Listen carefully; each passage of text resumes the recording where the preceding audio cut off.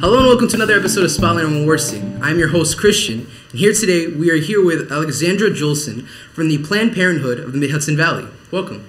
Hi, how are you? I'm good. How are you? I'm fine. Uh, can you tell us a little bit about yourself and the uh, parent Planned Parenthood?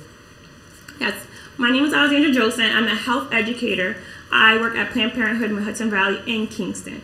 Um, I'm here basically to basically talk to you guys about um, different methods of birth control, but a little bit about anatomy too. And that's why I'm here to talk to you guys about that. Okay. Um, when do males get sperm cells? Hold on, before you get to that point. I just want to tell you a little bit about the wallet card real quick because I know you want to jump right in, Yeah. and it's so exciting. But Yeah. I want to be able to tell you a little bit about Planned Parenthood. So, Right. Planned Parenthood. Why do people go to Planned Parenthood? People go there for STI testing, HIV testing, also pregnancy testing. A lot of people go there for different um, resources when it comes to sexual and reproductive health. We have five locations. We have one in Kingston. That's where I'm at. We also have a health center in Monticello.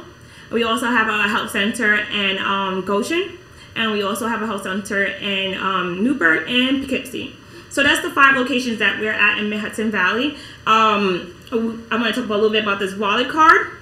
Um, basically, the wallet card right here comes in English and Spanish. There's a little blue box right here that if you had any questions about like why am I growing hair in weird places or why does it burn when I urinate, you will text this number right here, and it will give you all the information to be able to um, ask those questions. Someone like me will be on the other side. It's confidential, so you don't have to give any information but like the demographic, like zip code and your race. And after that, you can ask whatever question. You can ask this question maybe three o'clock in the morning, seven o'clock in the evening, or ten o'clock in the morning. Whatever you feel like asking those questions. That section is right here. The purple spot right here, basically, you can be able to make appointment you feel that you want to get on birth control, or you just wanted to see if you got pe- um, pregnancy test, you wanted to see if you are pregnant, or say if you wanted to, for a male, wanted to just make sure that you know your anatomy is good and you want to, you know, check out, make sure that you don't have no STIs or anything like that. You can go and make an appointment. The number is right here. It's 845-562-7800. All right. And again, it shows you all the locations where we're located at and all the addresses at the bottom. So that's our wallet card. So and it, you can use any major insurance. And if you don't have insurance, you can use a family planning benefit program, and it'll be able to help you out so that you can get either free or low cost services. Okay. You got any questions though? Yeah, you can go right into the questions. All right. Uh, when do males get sperm cells? so males get sperm cells. When do you think males get sperm cells? Uh, like beginning of puberty, like ten or eleven.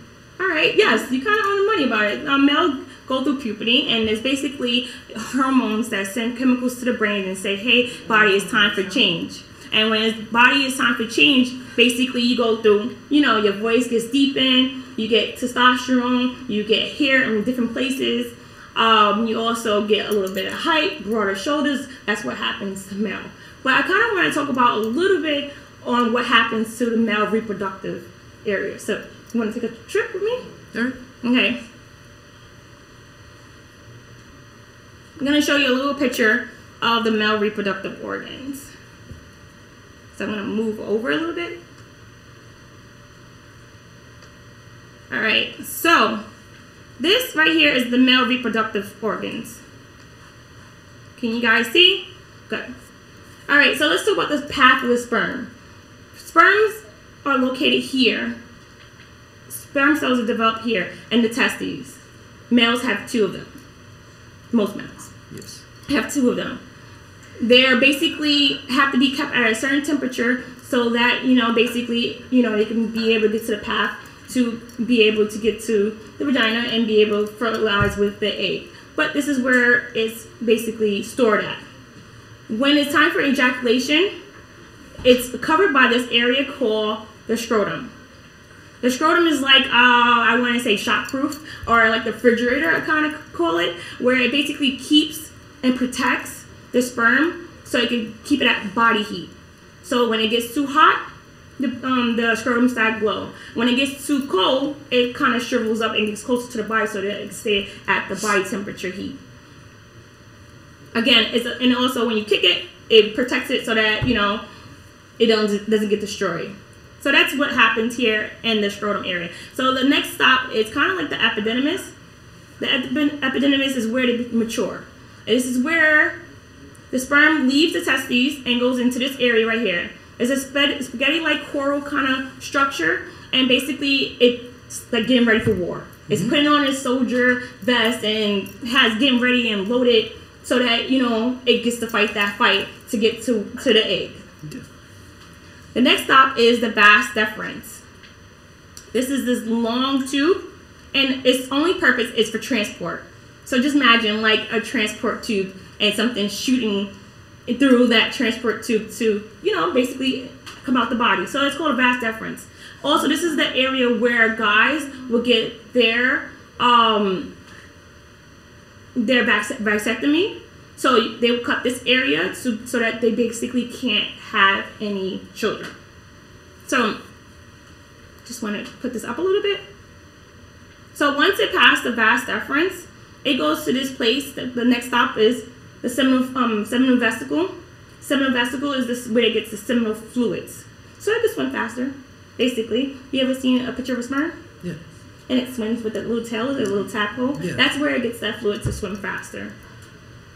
After it leaves the um the um, seminal vesicle and passes the bladder, and once it passes the bladder, it goes to this thing called the prostate gland.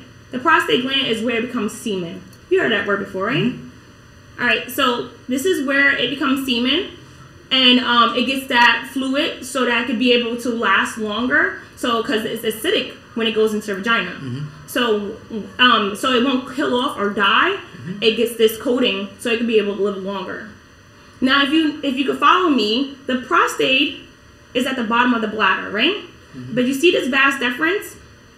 I mean, the vas deferens, and it goes like this. It passes, and it kind of like connects with the bladder and this, right? So how does the body know not to let any urine out, but to let ser- um, sperm out, semen? How do you think?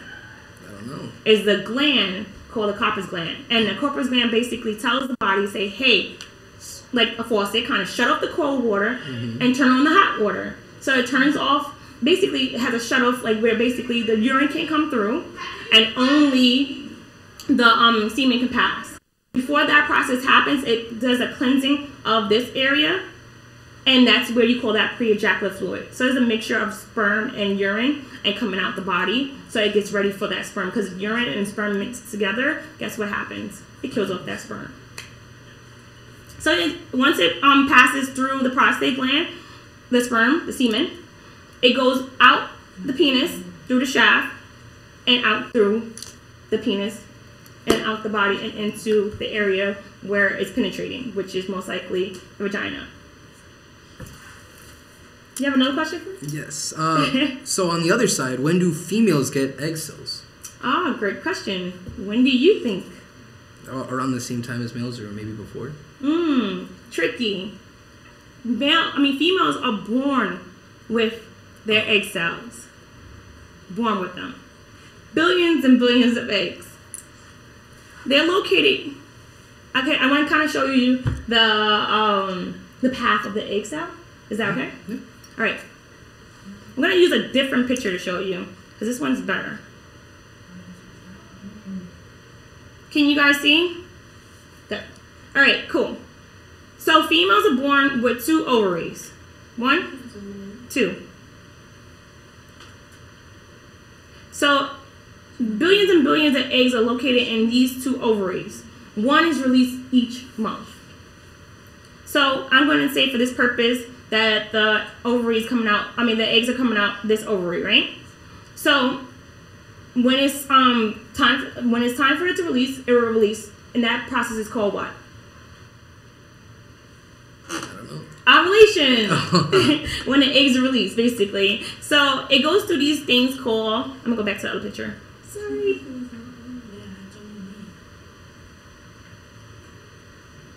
Oops, sorry.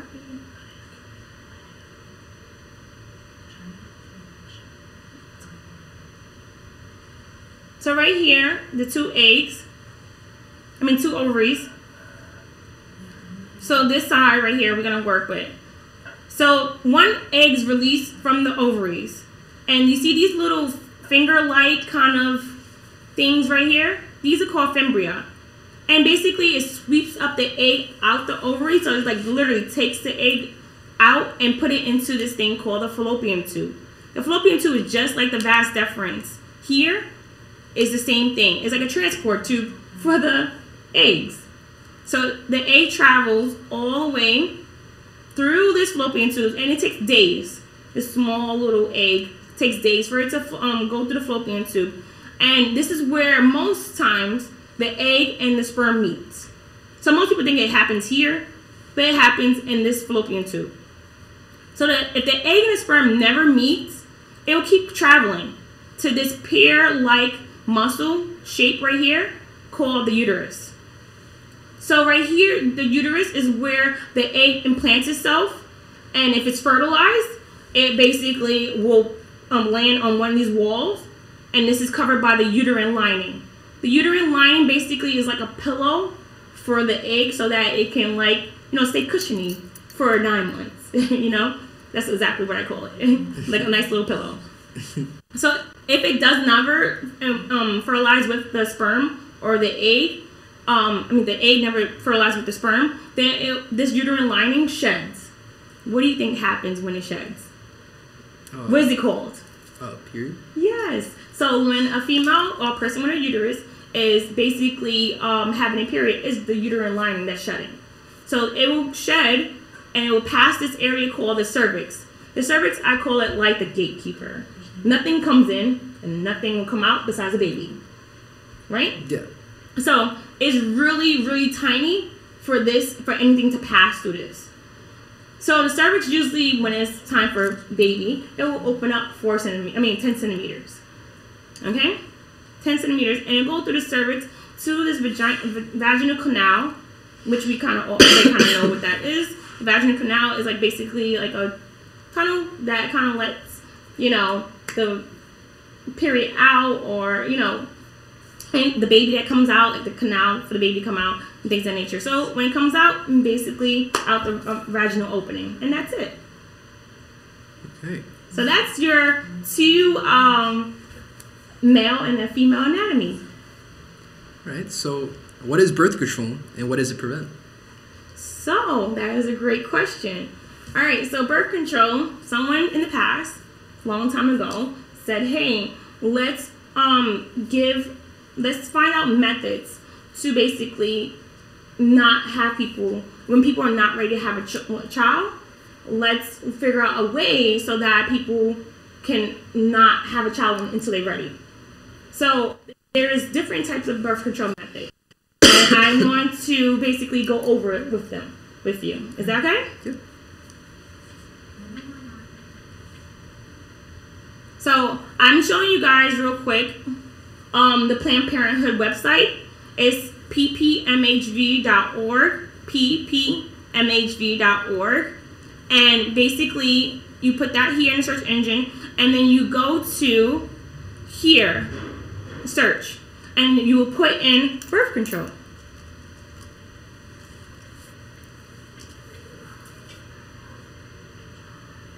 So then I have all this different videos and different websites that will show you a lot when it comes to birth control. I'm going to show you this first. So birth control is a safe and easy way to prevent pre- pregnancy. Only pregnancy. Some types of birth control can also help treat certain health problems or prevent other health benefits. So some people use it for like acne or heavy periods. So some people use birth controls for those reasons. Like making um, periods light, lighter or less painful, almost everybody uses birth control at some point in their life. Birth control isn't one size fit all. So just like you know trying on a pair of shoes, you're not if you're not a size one, a size one won't fit you. But you're gonna try it on to see if size one fits you until you figure out that maybe you're size ten, right? There are lots of different birth control methods that work in different ways. That's why that's where the expertise come in. So I will tell you a little bit about birth control. So at Planned Parenthood, we offer the implant, and also we also offer the birth control patch, the birth control pill, the birth control shot, the birth control sponge, birth control, vaginal ring, the cervical cup, the diaphragm, condoms, female condoms. We have a whole bunch of fertility methods, the IUD, spermicide, and other um, vasectomies and tubal ligations and other birth control services. So you have a question? What is LARC? LARC. Great question. What do you think it means? Uh, Take a shot at it. I don't know. It's, it's an acronym, right? For something. It is an acronym. so acronym stands for long acting reversible contraceptive. So basically, these methods that I'm about to tell you are long acting, so it lasts a long time, meaning years. And then they're reversible. So say if you say, hey, I don't like this method, or you're ready to get pregnant, or something of that nature, you can take it out, or you can not use it no more. And contraception obviously is, you know, a method basically. All right. So I'm going to talk to you under the LARC is two types of um, two types of um, birth control. There is the implant, and also there is the IUD. IUD stands for intrauterine device. Okay, sorry. I'm just going to go to the IUD.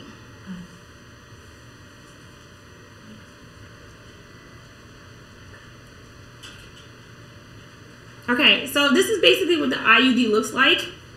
It goes into the uterus, and basically, um, there's two types. There's hormonal and non-hormonal. So you have the non-hormonal. Basically, it has no hormones, doesn't send no chemicals to the brains or anything like that. But it actually changes the the um, the environment of the uterus so that sperm and the egg would never meet. So someone came up with a great idea and said, hey, copper and sperm don't like each other. So when you put copper inside the uterus, basically kind of like freezes the um the sperm so that it can't go anywhere. It stays still. And it never, if it doesn't move, guess what happens? What happens? It never meets with the egg. Okay? I'm gonna kind of show you a video real quick showing this what exactly what I'm talking about. IUD stands for intrauterine device, and it's one of the most effective kinds of birth control you can get. A doctor inserts a little IUD into your uterus, and then you're protected from pregnancy for years. IUDs are super convenient and mistake proof. You get it, and forget it. Your IUD can be removed anytime you want, and your ability to get pregnant quickly returns. But IUDs don't prevent the spread of STDs, so use condoms along with the IUD to help protect yourself. There are a few kinds of IUDs. The Paragard IUD is hormone free. It uses copper to prevent pregnancy and lasts for up to 12 years. The copper IUD also works really well as emergency contraception. It can prevent pregnancy if inserted up to five days after unprotected sex. Hormonal IUDs like Mirena, Kyleena, Skyla, and Liletta use a hormone called progestin to prevent pregnancy. They last three to six years, depending on which one you get. The IUD has possible side effects, but they usually go away after a few months. They have lots of benefits too. Hormonal IUDs can ease cramps and make your periods lighter, or even stop them completely. Want to get an IUD? Your nearest Planned Parenthood Health Center is here to help.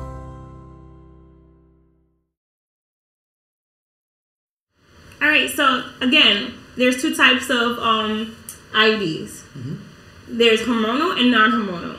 So the hormonal one, I mean the non-hormonal one, like I said, is the Paragard lasted for 12 years and surrounded by copper, so it changes the, the environment of the uterus.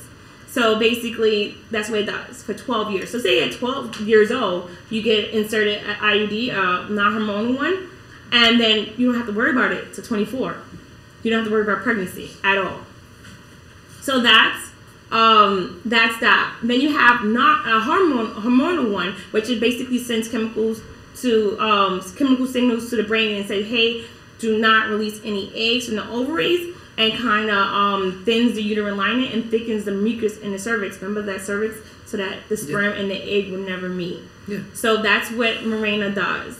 So um, if you use Mirena or the other types, those ones last for three to five years. And those are the ones that um, actually, you know, can make you have lighter periods or have no periods because it has hormones on it. Okay? All right. So that's your IUD. Kind of cool, right? Yeah. Any questions on IUD? Um. Yeah, well, All right. Yeah. All right, cool. All right, so I'm going to show you the implant. So implants also is a hormonal method, basically that is um, placed into your arm, and it's placed into your arm and kind of sends signals to the brain and says the same thing, where basically don't release any eggs from the ovary. it thins the uterine lining and thickens the mucus in the cervix, so that the egg and the sperm will never meet.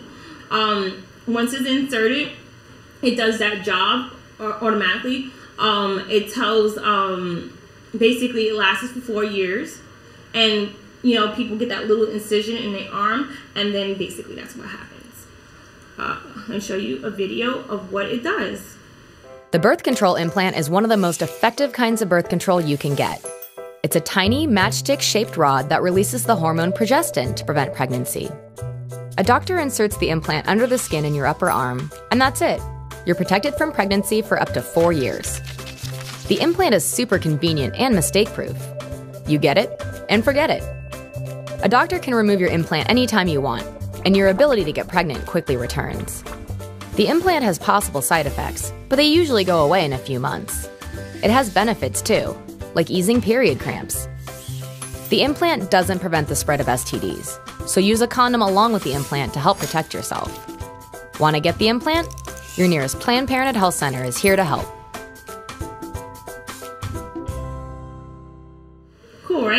Yeah. So again, it's four years. You put it inside your arm. It sends hormones, and basically that's what exactly what it does. Um, usually you don't see it. You just feel it is there. Um, it's a couple of days. It'll be like a little bit bruising, especially if you're a little bit fair skinned. And then after that, it's kind of like you don't even know it's there.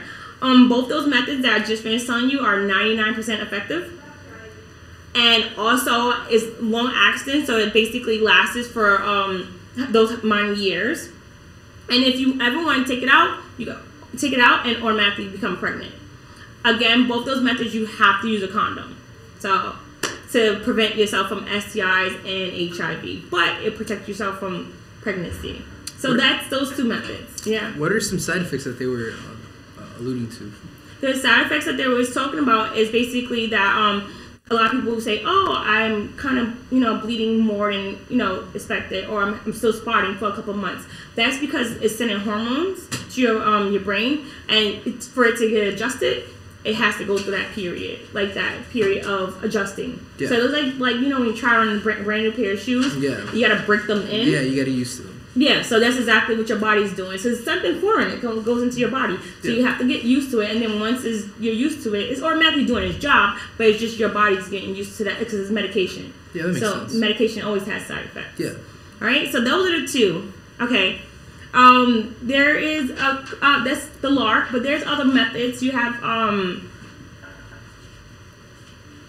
you have uh, you have the the pill, and you have the um, the ring. You have the shot. Those are all hormonal methods, and the patch. These um four are 99% effective, and basically does the same thing until until the ovaries hey don't release any eggs, and it um thins the uterine lining and also thickens the mucus so that um, mucus inside the cervix so that it never meets with the um sperm. The egg and sperm will never meet. And when that um those methods basically it's not like the um ones where you kind of set it and forget it. These are basically you had to kind of keep going with it. So like the shot is every three months. The pill is every day. So and then the patch is um once a week for three weeks, and then the last week you don't put nothing on, and then you kind of start all over again. And the NuvaRing you got to put in for three weeks, and then after that you got to put give yourself one week break, and then go right back into it for another three weeks. So those are kind of like those mistakes where people kind of forget to, you know, Yeah. you know, take the pill when they need to take the pill, or you know, take, change change the patch when they change the patch. So those have human error in it, and that's why a lot of people become pregnant off those methods. But they, if they use right, they're ninety nine percent effective. Who pays for these methods? So who pays for them? Yeah. Insurances do not. um, so most of these methods are free um, with insurance, or you know you can use a family plan and benefit program, which is Fitbit, and those are either in free or low costing um, prices. I mean low costing if you have to pay out of pocket. So if you go to Planned Parenthood or any um, health facility that provides um, birth control, usually they will work with you so that you won't have to pay it when you have to pay for um, when you go get birth control. But for teenagers, if you go to Planned Parenthood, it's free. That's helpful. Yes.